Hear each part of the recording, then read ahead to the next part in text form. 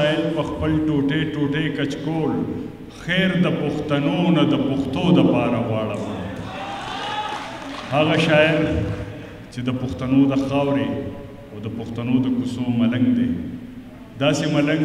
چې ټول عمر پښتو غوښتې ده ټول عمر پښتو کړی ده او ټول عمر پښتو پاللی ده ډیر محترم رحمت شاه سائل. بالله من الشیطان الرجیم بسم الله الرحمن الرحیم د دې مجلس صدر موږ ټول استاد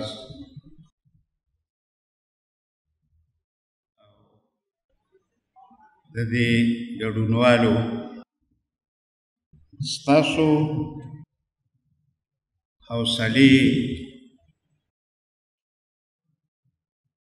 او ستاسو د دومره وخت پورې د ناستې ته سلام کوم دا دو شعرونه مې لیکلي دي چې زمون تاریخ زمون تاریخ هسې زمون نه خلق نه پټوي زمون تاریخ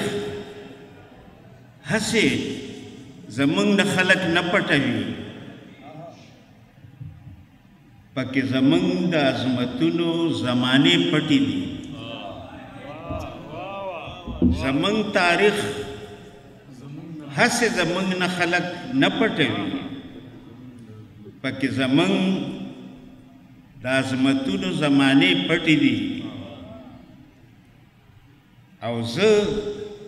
په دې ځمکه باندې هسې کرښې نه وباسم زه په دې ځمکه باندې هسې کرښې نه وباسم پکې دننه د سرو زرو خزانې پټې دي او دا یو شعر مې را نقل کړی دی چې زمونږ حالات د داسې وخت پورې راورسېدل زمونږ حالات د داسې وخت پورې راورسېدل اوس به د خپل وطن بیلل او یا ګټل غواړي زمونږ حالات د هغه وخت پورې راورسېدل اوس به د خپل وطن ګټل او یا بیلل غواړي او موږ په پردو رنګونو خپل مخونه ښکلي نه کړل په سر د خپلو کوڅو خاورې بادول غواړي دا یو روماني غوندې شعر دی چې ته دې د غاړې د عامل لړونه مه کوه ته دې د غاړې د عامل لړونه مه کوه يو کال به نور مزدوري د دې د پاره وکم ته دې د غاړې د امیل لړونه مکه موا یو کال به نور مزدوری د دې د پاره وکم او دا یو شعر بل دی چې شعرونه مرثیې وې تقریرونه لکه سان دی شعرونه مرثیې وې تقریرونه لکه سان دی ما ژوند لیک د ژوند مرسیو په زمانہ کې شیرونه مرسیې وې تقریرونه لکه سان دی ما ژوند لیک د ژوند مرسیو په زمانہ کې او دا بل شعر دی چې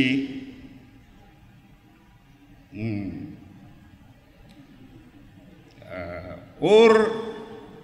لیونې نه دی چې تا به سیزي ما به سیزي اور لیونې نه دی چې تا به سیزي ما به سیزي اور که خدای دومره لیونی که نو دنیا به سیزي دا غزل پیش کوم ستاسو وخت ډیر نه نیسم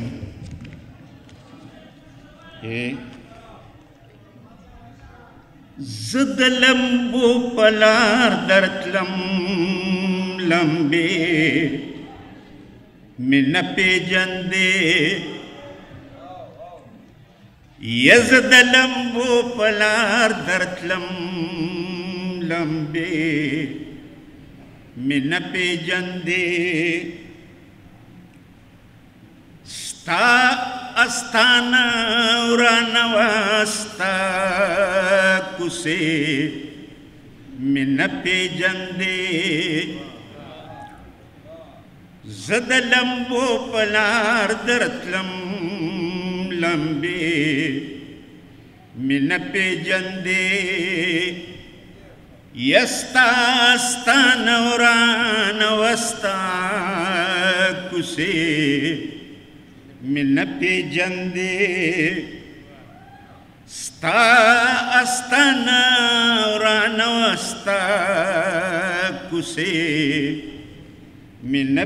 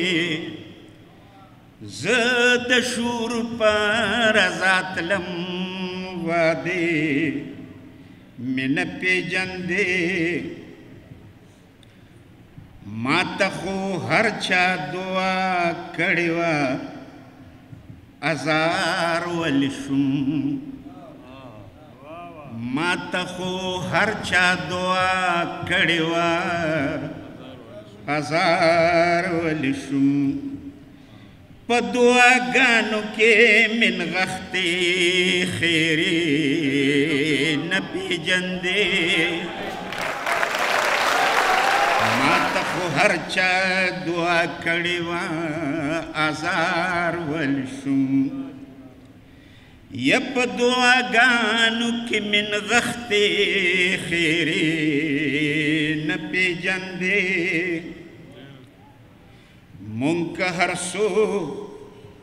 د ځان سره راوړې شپې وې د غم مونږ که هر څو د ځان سره راوړې شپې وې د غم زه سندر بولې د سحروم شپې مې نه پېژندې